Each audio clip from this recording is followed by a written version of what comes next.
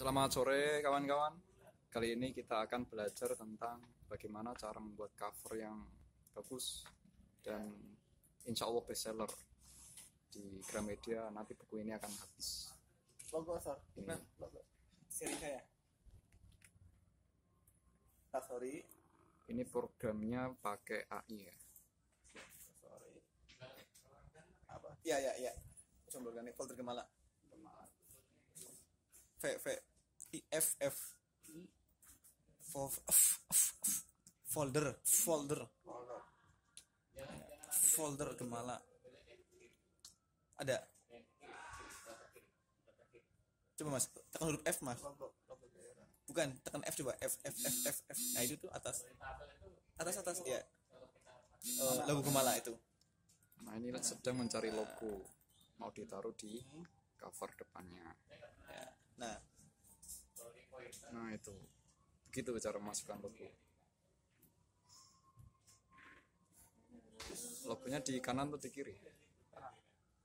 Oh, di kanan. Emang harus di kanan gitu? Eh, biasanya sih nggak tahu itu atur aturan atau bakunya kurang tahu Ini bukunya karya Sri Purwanto. Penulisnya itu seorang driver ojek ya. Usianya udah 65 tahun, tapi masih produktif.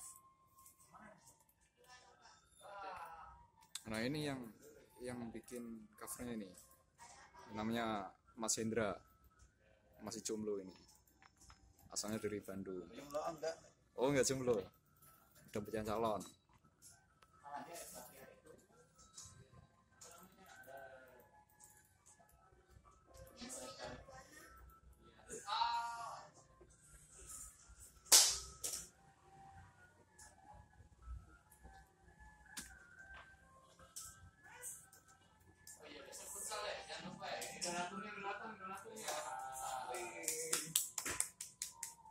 Jam jam berapa Kalau ukuran logo gitu ada ketentuannya nggak?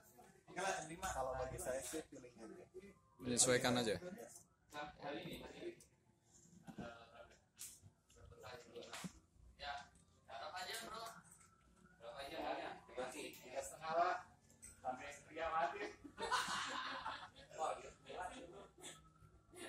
Eh, bocahnya kapan? Besok. besok besok Jangan besok lah. Besok malam.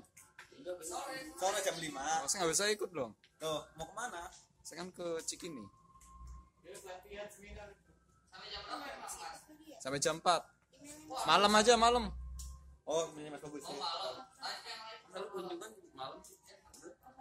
Hah? iya Dari pagi sampai sore. Kunjungan ke Gram. Itu pelatihan. mas mail mas ini kan putu pesantren Iya. mail apalagi ini maksudnya soal oh Ini yang cover depan ya. udah mas udah udah cukup Udah selesai nih. Yang cover belakangnya gimana? Besok. Oh. Ya beginilah oke lah seluk beluk pembuatan cover ini hasilnya sangat bagus. Ini kalau nggak salah nanti penulisnya yang gembira.